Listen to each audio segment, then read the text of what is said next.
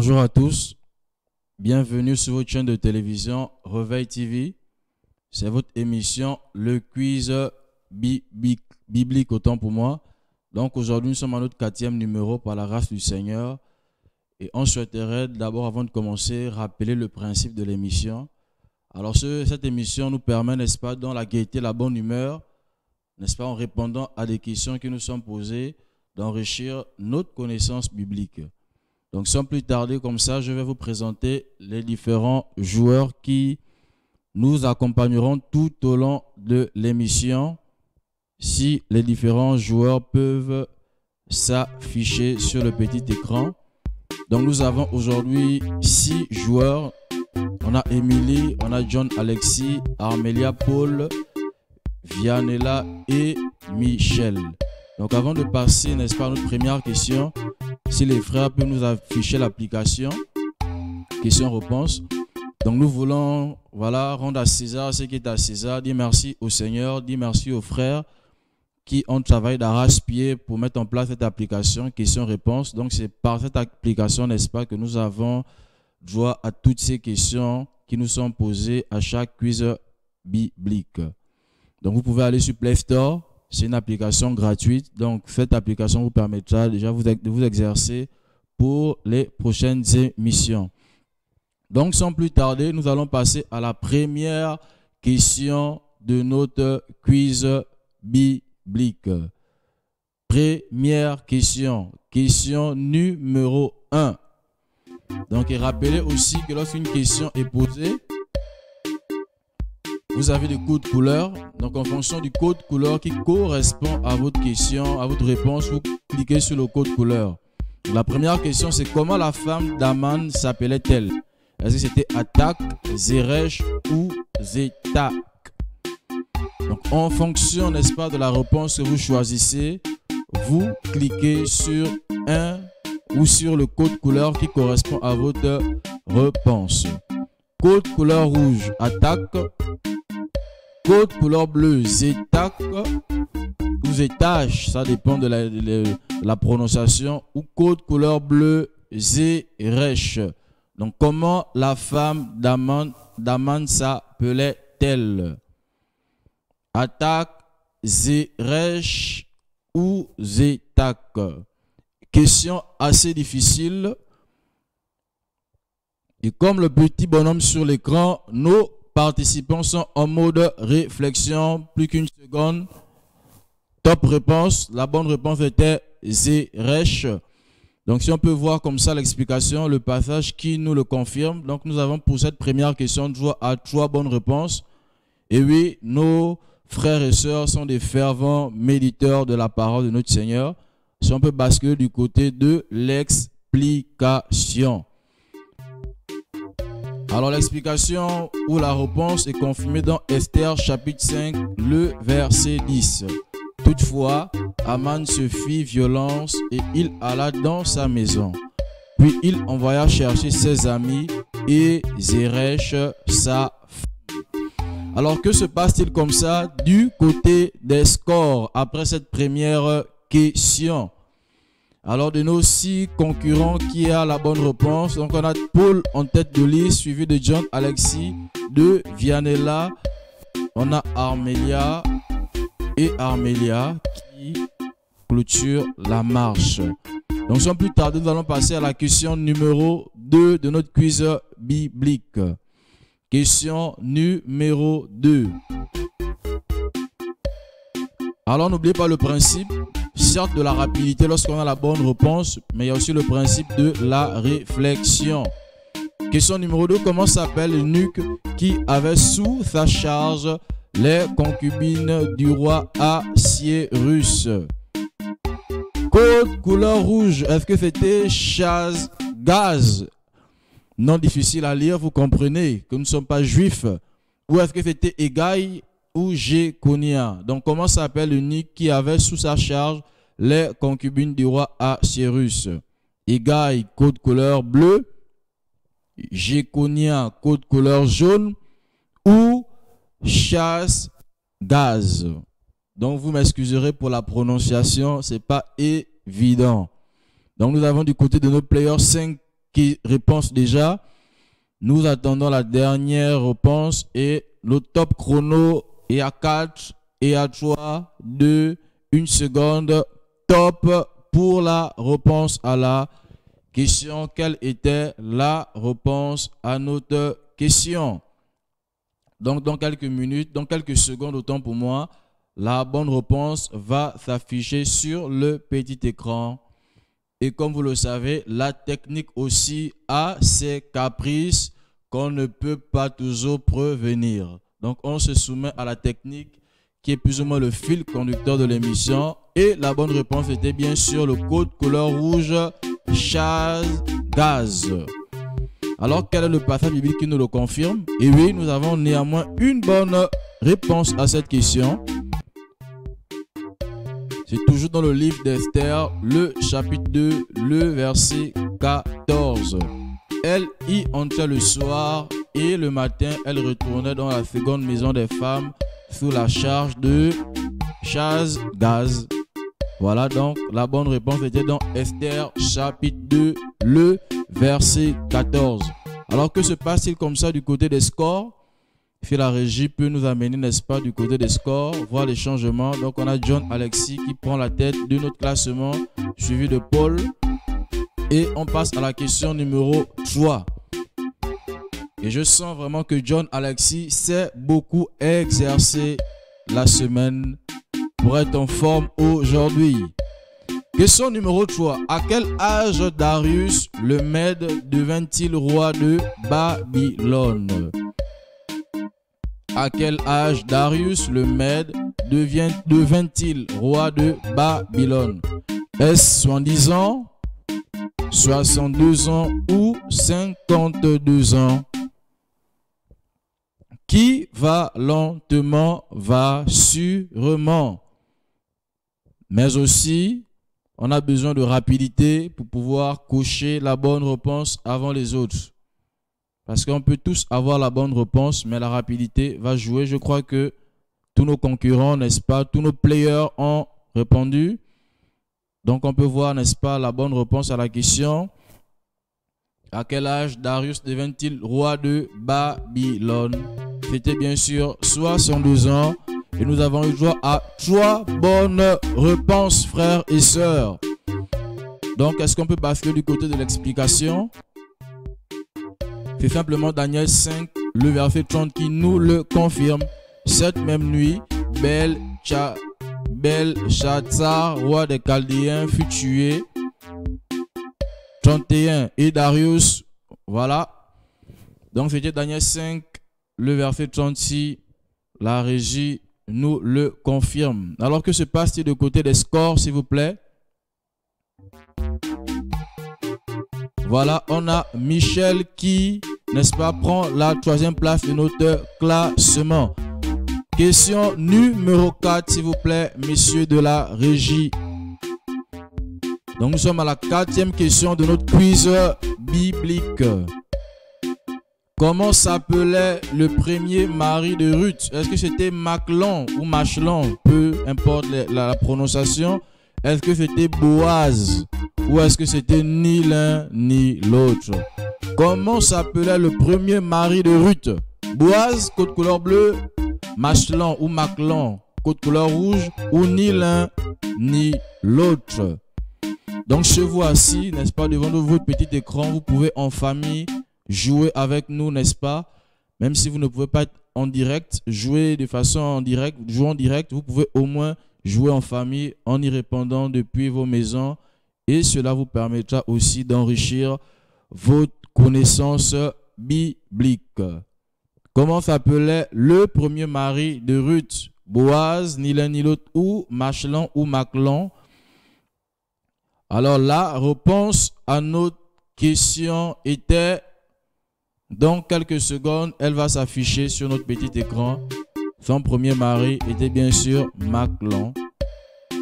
Un peu bizarre parce que même moi-même je ne le savais pas. Vous voyez qu'on apprend tous.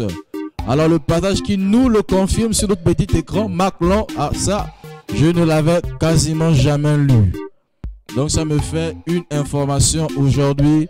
Maclon était bien et bien le premier mari de notre sœur Ruth. Alors le passage qui nous le confirme est dans bien sûr le livre de Ruth. Donc nous sommes dans Ruth, le verset 10 du chapitre 4. Donc c'est le verset 10 du chapitre 4 qui nous le confirme. Donc le verset 10 dit Et que je me suis également acquis pour femme Ruth, la Moabite, femme de Maclon. Waouh Qu'est-ce que la parole nous fait beaucoup de bien. Alors du côté des classements, que se passe-t-il? Nos chers frères de la régie. Eh oui, eh oui, on a notre sœur Michel qui prend la deuxième place de notre classement et Armelia qui revient petit à petit au score. Question numéro 5. Et toujours en tête, John Alexis. Donc nous sommes à la question 5 ou la cinquième question de notre quiz biblique.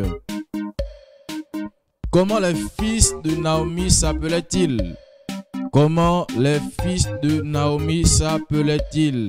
Est-ce que c'était Malon et Kijan, code couleur rouge. Est-ce que c'était Maclon et Kirian, code couleur jaune. Ou est-ce que c'était Maclon et Kijan, code couleur bleue. Oui, bien sûr, Naomi avait deux garçons, la Bible nous le confirme, qui sont d'ailleurs décédés. Et oui, c'était bien sûr Maclon et Kijan. Quatre bonnes réponses, c'est pas mal. Et nous allons basculer du côté de l'explication. Donc c'est Ruth chapitre 1 du verset 1 au verset 2. Donc lorsque vous le lirez à la maison, vous verrez que elle avait deux fils, n'est-ce pas? Le Dieu verset 2. Et le nom de cet homme était Elimelech, le nom de sa femme Naomi et le nom de ses deux fils, Maclon et Kiljan. Et voilà, nous allons comme ça faire un petit tour du côté de, des scores pour savoir ce qui se passe. Et on a, n'est-ce pas, Vianela Yodit qui prend la deuxième place et Armelia qui monte petit à petit et John Alexis demeure le leader provisoire de notre classement. Question numéro 6. Sixième question, s'il vous plaît, messieurs de la régie. Donc c'est le temps de détente. Il faut profiter, n'est-ce pas, de cette détente spirituelle que le Seigneur nous permet de vivre. Naomi avait combien de filles? Naomi avait combien de filles? Attention, attention, précipitation n'est pas raison. Naomi avait combien de filles? Une fille, deux filles ou aucune fille? En principe, tous nos candidats sont censés trouver cette question. Confère à la question précédente simplement. Et oui, bien sûr, elle n'avait aucune fille. Donc, le passage qui nous le confirme, s'il vous plaît, messieurs de la régie? C'est simplement le Ruth chapitre 1, le verset 2 qui nous confirme qu'elle avait deux fils et pas deux filles. Alors, tous nos candidats ont trouvé quels sont les principaux changements du côté des scores, s'il vous plaît, du côté du classement. Et oui, petit à petit, Armelia prend la troisième place, Michel prend la quatrième place, Vianella conserve sa deuxième place et John Alexis, qui s'est très très bien préparé, reste en tête de notre quiz biblique. Prochaine question. Question numéro 7. Que faisaient les enfants de Job ou de Job lorsqu'ils furent emportés par la mort? Ils festoyaient dans la maison de leur frère cadet Côte couleur rouge. Ils festoyaient dans la maison de leur frère aîné Côte couleur bleue Ou est-ce qu'ils surveillaient leur troupeau côte couleur jaune? Nous avons déjà cinq réponses. On voit que nos candidats sont en forme ce soir. Et oui, ils festoyaient dans la maison de leur frère aîné. C'était de leur frère aîné, pas de leur frère cadet. Cinq bonnes réponses pour cette question. C'est pas mal. Nous avons des fervents frères qui méditent la parole. Explication, s'il vous plaît. Donc, c'est Job chapitre 1, le verset 18 qui nous le confirme. Cet homme parlait encore lorsqu'un autre, lorsqu'un vint et dit, tes fils et tes filles mangeaient et buvaient du vin dans la maison de leur frère aîné. Job chapitre 1 verset 18. Est-ce qu'on peut, n'est-ce pas, basculer du côté des scores? Que se passe-t-il du côté des scores? Eh oui, eh oui, eh oui, on a Vianela Yodit qui prend la tête du classement. Nos sœurs sont en forme et nous bénissons le Seigneur Yeshua pour sa fidélité. Question suivante, s'il vous plaît. Donc nous avançons petit à petit. Nous sommes à la question numéro 8. Comment s'appelait l'intendant à qui Daniel, Anania, Michael et Azaria ont été confiés? Est-ce que c'était Ashpenaz ou Akpenaz Est-ce que c'était Meltsar ou est-ce que c'était Balthazar? Alors, comment s'appelait l'intendant à qui Daniel, Anania, Michael et Azaria ont été confiés? Akpenaz, Meltsar ou Balthazar? Côte couleur jaune, Balthazar. Côte couleur bleue, Meltsar. Ou côte couleur rouge, Akpenaz. Petit à petit, notre chrono est en train de s'effriter et nous allons, oui, la bonne réponse était Meltsar. Et nous avons droit à une bonne réponse. Félicitations à toi qui a correctement répondu. Oui, félicitations aux autres aussi, même s'ils n'ont pas trouvé la bonne réponse. Explication, s'il vous plaît. C'est Daniel le chapitre 1 et le verset 11 qui nous le confirme. Mais Daniel y a Meltsar, l'intendant à qui le chef des eunuques avait remis la surveillance. Donc c'est Daniel chapitre 1, le verset 11. Alors du côté du score, qu'est-ce qui se passe, s'il vous plaît? Eh oui, c'est John Alexis qui a trouvé la bonne réponse et il répond la tête du classement de façon provisoire. Question suivante. Donc jouer dans la joie, la bonne humeur, sans pression, car l'objectif c'est de se vader un peu, c'est d'avoir des loisirs sains. Yahweh a-t-il délivré Belchatzar, Bel, Tchatzar, Meshach et Abednego de la fournaise du feu ardent? Oui ou non? Yahweh a-t-il délivré Bel, Tchatzar, Meshach et Abednego de la fournaise ardente? Attention, attention. Il y a un petit piège, je vous le confirme. Yahweh a-t-il délivré Bel, Tchatzar, Meshach et Abednego de la fournaise ardente La question est non, simplement parce que Bel, Tchatzar, c'est Daniel. Et c'était le petit piège. On va aller du côté du passage qui nous le confirme, s'il vous plaît.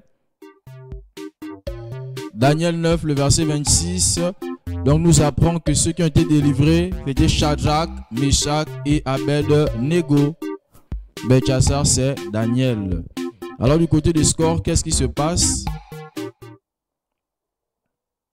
Du côté des scores, ah oui, on a, on a John Alexis qui est en train de creuser l'écart petit à petit, un écart d'à peu près plus de 1000 points figés bonne calculatrice dans la tête. Prochaine question. Donc nous sommes comme ça à la dixième question de notre quiz biblique. En quel métal étaient faits les pieds de la grande statue que Nebuchadnezzar a vue en songe? Est-ce que c'était l'argent, côte couleur rouge? Est-ce que c'était l'argile, côte couleur bleue Est-ce que c'était le fer et l'argile? Donc s'il vous plaît, un peu de cogito spirituel. Est-ce que c'était uniquement de l'argent? Eh oui, c'était du fer et de l'argile. On a nos six candidats qui ont trouvé la bonne réponse. Gloire à Yeshua. Le passage sur l'écran va s'afficher, le passage qui nous le confirme. C'est Daniel chapitre 2 et le verset 33. Ces hommes étaient en fer et ses pieds étaient en partie en fer et en partie en argile. Que se passe-t-il du côté du classement? Que se passe-t-il du côté du classement? Le classement reste inchangé. Question suivante, s'il vous plaît. Question suivante. Nous sommes comme ça à notre onzième question. À qui appartenait le champ où Ruth alla glaner des épis? Ophim, Boaz ou Elimelech? Ophim, Elimelech ou Boaz? Boaz, Ophim ou Elimelech? Pas de précipitation, réflexion, réflexion. Boaz, Ophim ou Elimelech Bien sûr, c'était Boaz. Le passage qui nous le confirme est dans Ruth, le chapitre 2, le verset 2, mais on va juste lire la fin. Et il arriva qu'elle se trouva accidentellement dans un champ appartenant à Boaz. Ruth chapitre 2, le verset 2. Donc, est-ce qu'on peut voir les changements du côté du classement, s'il vous plaît? Que se passe-t-il du côté du classement Le classement demeure inchangé. Question suivante. Question numéro 12. Dans quel pays Job habitait-il? Est-ce que c'était Kéran, Aran ou Utz Dans quel pays Job habitait-il? Utz, Kéran ou Aran? Juste rappeler à nos téléspectateurs que l'objectif c'est de cultiver notre connaissance biblique. Dans la joie, la gaieté, la bonne humeur, ne vous mettez surtout pas de pression car ce n'est qu'un jeu qui nous permet de davantage apprendre la parole du Seigneur. Dans quel pays Job habitait-il? Aran, Utz ou Kéran? Alors petit à petit, notre chrono est en train de s'effriter. Plus que 15, plus que 11 secondes. Et la bonne question ou la bonne réponse, autant pour moi, va s'afficher. Dans quel pays Job habitait-il? Dans quel pays Job habitait-il? C'était bien sûr Ut. Et le passage qui nous le confirme est dans Job chapitre 1, le premier verset. Il y avait dans le pays d'Ut un homme appelé Job. Donc la bonne réponse était Job chapitre et dans Job chapitre 1 le premier verset c'était Ut. Du côté du classement, quels sont les principaux changements s'il vous plaît? Eh oui, on a pour la première fois l'apparition sur le petit écran de notre sœur Émilie. Sois encouragée. Question suivante. Donc nous sommes à la 13e question de notre quiz biblique. Que nous réserve cette question? Esdras, fils de Seraja, était-il un scribe? Esdras, fils de Seraja, était-il un scribe? Alors pour savoir, il faut connaître la définition du scribe. Est-ce qu'il était scribe, oui ou non, ou vous n'avez aucune idée? Esdras, fils de Siraja, était-il un scribe? Un scribe. Un scribe. Oui ou non? Ou vous n'avez aucune idée? Si vous n'avez aucune idée, vous cochez aucune idée. Si vous pensez que c'est oui, vous cochez oui. Si vous pensez que c'est non, vous cochez non. Et oui, bien sûr, il était scribe. Et le passage qui nous le confirme est dans Esdras, quel chapitre s'il vous plaît?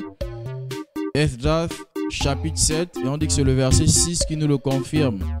Esdras qui était inscrit bien versé dans la loi de Moïse que Yahweh, le Dieu d'Israël, avait donné.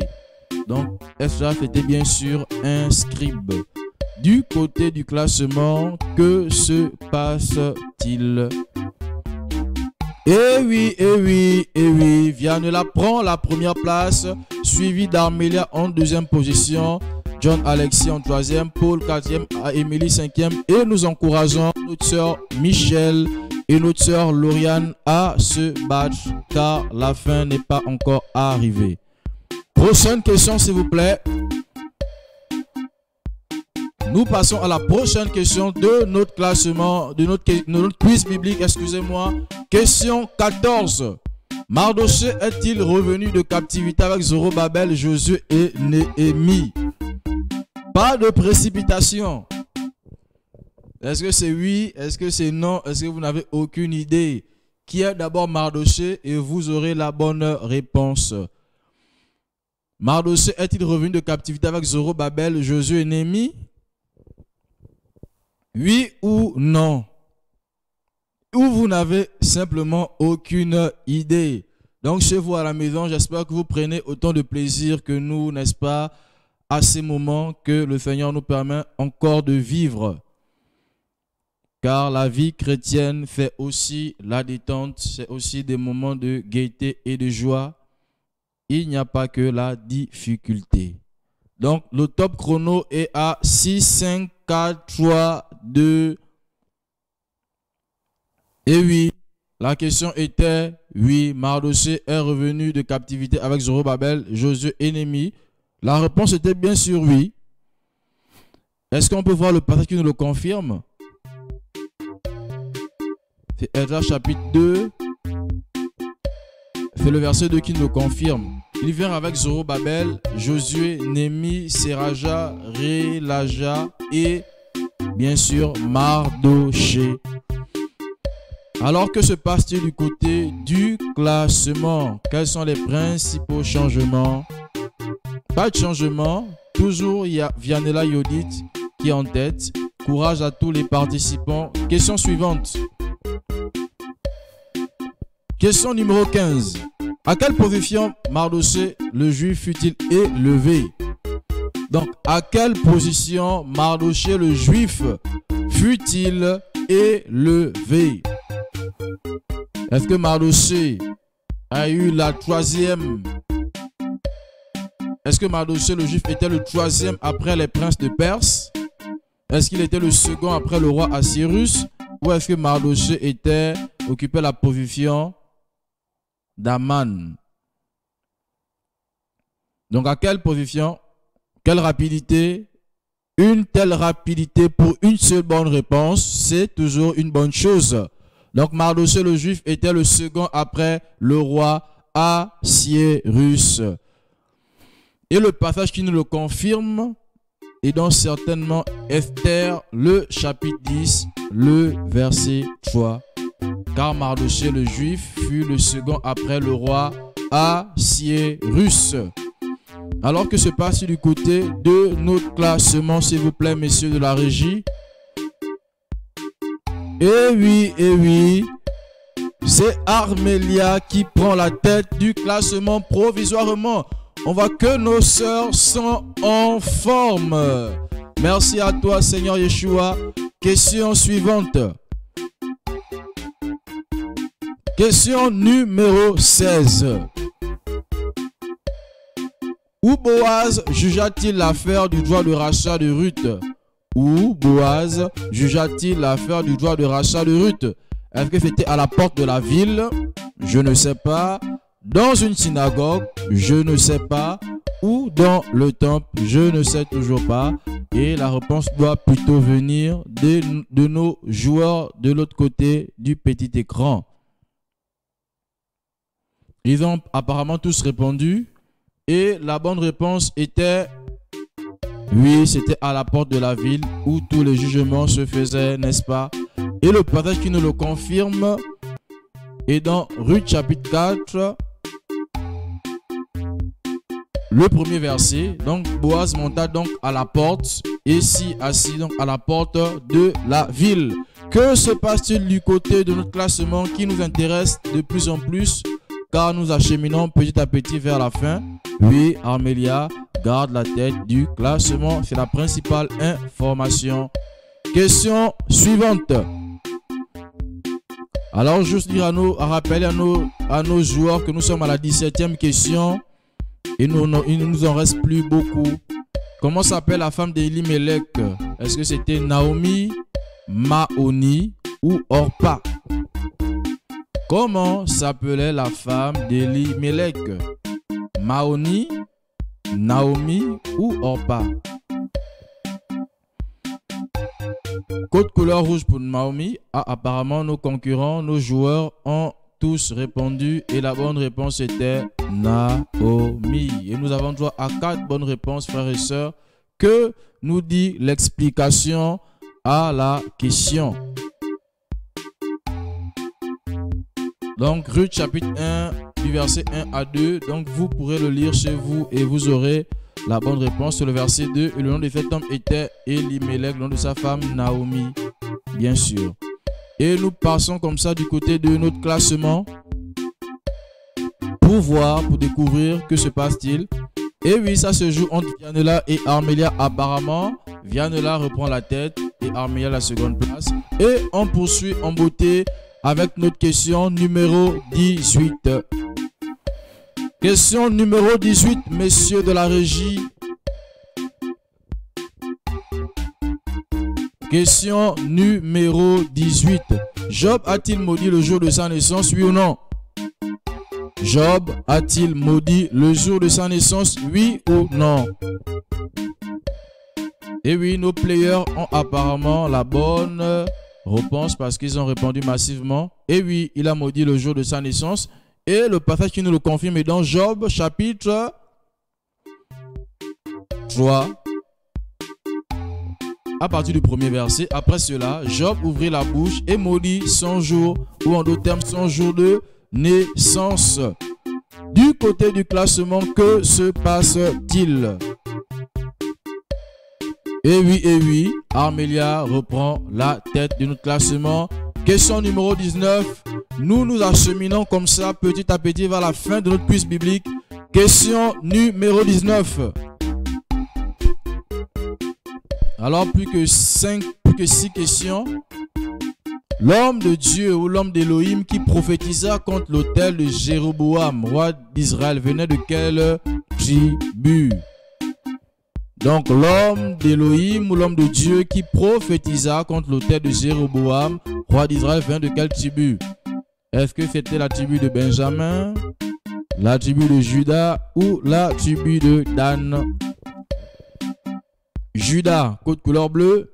Benjamin, côte couleur rouge. Ou Dan, côte couleur jaune? Donc cet homme, cet homme d'Élohim venait de quelle tribu, s'il vous plaît? La régie va nous afficher dans peu de temps la bonne réponse. Il venait bien sûr de la tribu de Judas. Et le passage qui nous le confirme, le passage qui nous le confirme est dans 1 roi, chapitre 13, premier verset. Et voici un homme de Dieu vint de Juda à Bethel. Oui, cet homme de Dieu, cet homme d'Élohim venait bien sûr de la tribu de Juda. Que se passe-t-il du côté de notre classement, s'il vous plaît?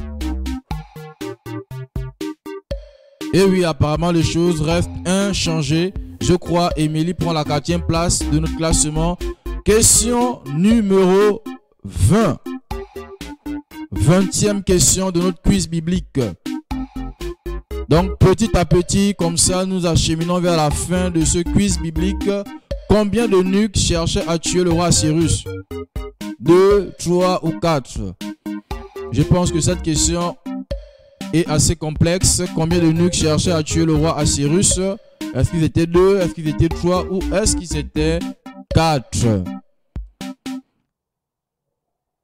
Donc, c'est une question difficile, mais nous croyons que nos players, que nos joueurs ont bien répondu. Oui, ils étaient deux. Est-ce que ça a été trouvé par connaissance ou par hasard? Je ne sais pas. Mais le pas qui nous confirme, c'est Esther chapitre 2, le verset 21 verset 23. Donc, c'est le verset 23 justement qui le confirme. On vérifia l'affaire et on trouva que cela était exact. Les deux eunuques furent pendus à un bois. Donc, ils étaient au nombre de deux. Que se passe-t-il du côté du classement, s'il vous plaît? Eh oui, eh oui, eh oui. On a deux principales informations. Émilie qui prend la troisième place et notre sœur Michel qui revient à la cinquième place de notre classement. Et on a comme ça la disparition de notre frère Paul. Plus que cinq questions et notre quiz prendra fin. Question numéro 21. Question numéro 21 ou la 21e question. Combien de chefs de satrape complotèrent contre Daniel ils étaient à 5 Était-il à 2 Ou était-il au nombre de 8 Donc, en fonction du code couleur de votre réponse, vous choisirez. Alors, chez vous la maison, j'espère, chers téléspectateurs, chers frères et sœurs dans le Seigneur, que vous prenez autant de plaisir que nous. C'est des moments de joie, de gaieté, de bonne humeur et de détente. Notre Seigneur nous aime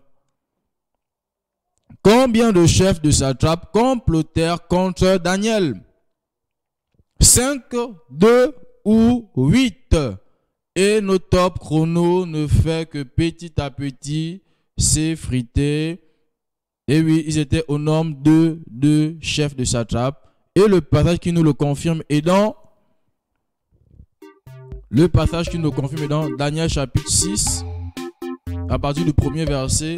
Vous pourrez le lire chez vous à la maison et vous verrez l'information qui nous intéresse. Que se passe-t-il comme ça du côté de notre classement, s'il vous plaît? Eh oui, eh oui, comme quoi la fin d'une chose vaut mieux que son commencement. Émilie prend la deuxième place de notre classement. Force et courage à tous nos participants. Petit à petit, nous acheminons vers la fin. Question numéro 22. Et bien sûr, Amélia, toujours en tête. Question numéro 22, s'il vous plaît. Le prophète Daniel était-il de la race de race royale? Oui ou non? Le prophète Daniel était-il de race royale? Oui ou non Ou vous n'avez simplement aucune idée Alors on apprend des choses dans ce quiz biblique. Bien sûr, Daniel était de la race royale. Et le passage qui nous le confirme est dans Daniel, le premier chapitre, et le verset 6, qui nous dit Il y avait parmi eux, donc les fils de Judas, Daniel, Anania, Michael et Azaria. Mais je pense que c'est par contre les versets qui sont un peu plus en haut qui nous le confirment. Donc vous pourrez lire Daniel chapitre 1 du verset 3 au verset 6 et vous aurez l'information de la bonne réponse. Que se passe-t-il comme ça du côté de notre classement? On est tout pressé de voir ce qui se passe. Et oui, il y a Paul qui revient à la cinquième place. Et nous acheminons petit à petit vers la fin, frères et sœurs. Question numéro 23.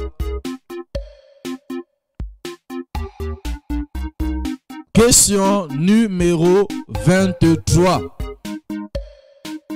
Boaz était-il le plus proche parent de Limelech ayant sur le droit de rachat? Oui ou non? Vous n'avez aucune idée. Un peu de jojote spirituel, un peu de rafraîchissement. Et la bonne réponse était non, bien sûr, car c'était son grand frère qui était le plus proche parent et son grand frère a cédé à Boaz la place parce qu'il ne voulait pas prendre Ruth pour femme et le passage qui nous confirme est dans Ruth, chapitre 3, le verset 12. Il est bien vrai que j'ai le droit de rachat, mais il existe un autre plus proche que moi qui a le droit de rachat, et c'était son frère aîné. Que se passe-t-il du côté du classement? Je suis assez impatient de voir les, les bousculements, les changements du côté du classement. Non, pas de changement. Et bien sûr, Armélia, notre soeur, petit à petit, va vers la victoire de notre quiz biblique. Question numéro 23 ou 24, si j'ai bonne mémoire, je ne sais plus. Nous sommes comme ça, frères et sœurs, arrivés à la 20-dernière question de notre quiz biblique. Qui a donné au fils de Naomi des Moabites pour femme? Qui a donné au fils de Naomi des Moabites pour femme? Était-ce Elimelech, côte couleur rouge Naomi elle-même, côte couleur bleue ou Maclon et Kiljan, côte couleur jaune. Donc, frères et sœurs, l'objectif, soit nous gagnons, soit nous apprenons. Il n'y a pas de perdants, car dans notre royaume, nous sommes tous vainqueurs en Yeshua. Qui a donné au fils de Daomi des Moabites pour femmes? Donc, même lorsqu'on ne trouve pas, on ne doit pas être frustré autant pour moi. Car où nous gagnons, où nous apprenons.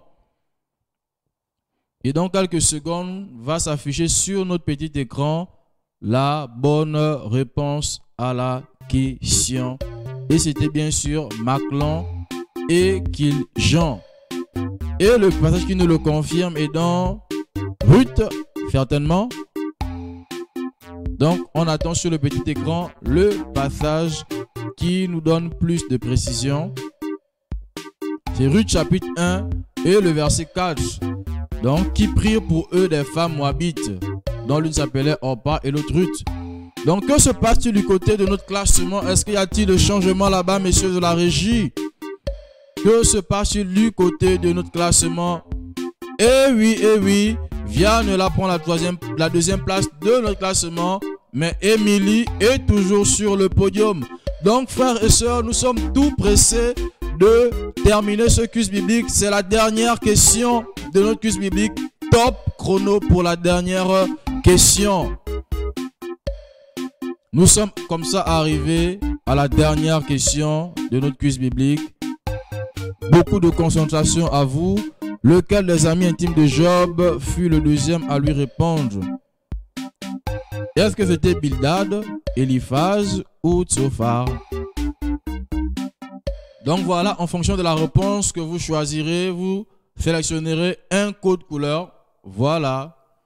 Tous nos candidats ont apparemment répondu et la bonne réponse était Bildad. Nous avons zéro bonne réponse et je crois que le classement restera le même certainement. Mais on veut d'abord voir les explications s'il vous plaît. C'est Job chapitre 8 du verset 1 à 7. Vous, pouvez, vous pourrez lire cette histoire et vous aurez des réponses.